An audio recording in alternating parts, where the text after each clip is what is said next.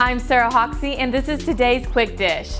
Stemilt growers and Douglas fruit are a match made in organic heaven. The Douglas family's entire crop of Washington peaches and nectarines are grown organically, and while Stemilt has been packing and marketing their fruit since 2003, this year marks the second season with organic-only peaches and nectarines marketed under the Stemilt Artisan Organics label. Bland Farms is going pretty in pink for the fight against breast cancer. Beginning in late September, Bland Farms will begin releasing packaging that features its all-pink logo for National Breast Cancer Cancer Awareness Month in October. The Georgia-based sweet onion grower is also donating $20,000 to the Breast Cancer Research Foundation. On August 4th, industry pioneer Jack Pandol passed away after an extended battle with Alzheimer's disease. Mr. Pandol was a fixture in the agricultural and produce industry worldwide and became the driving force behind the success of the Pandol Brothers Company beginning in the 1950s. Jack Pandol was a well-known globetrotter and consummate family man who revolutionized the ways that fresh produce is shipped,